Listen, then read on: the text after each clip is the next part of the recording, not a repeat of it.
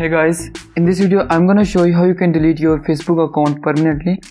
So without wasting any time, let's begin.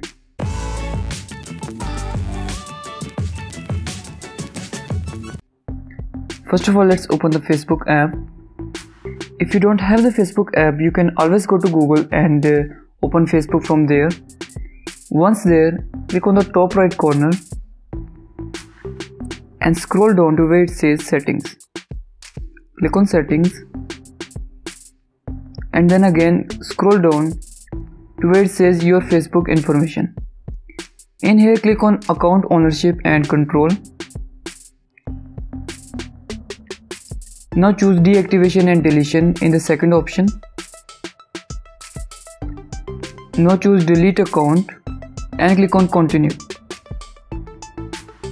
Now scroll down to the bottom of the page and again click on delete account. Now enter your password to confirm your identity. Then again click on delete account. It says that you are about to permanently delete your account and you will have 30 days to reactivate your account and cancel the deletion process. Alright. Once you click on delete account, your Facebook account will be deactivated for 30 days and you will have the time period of 30 days to reactivate your account.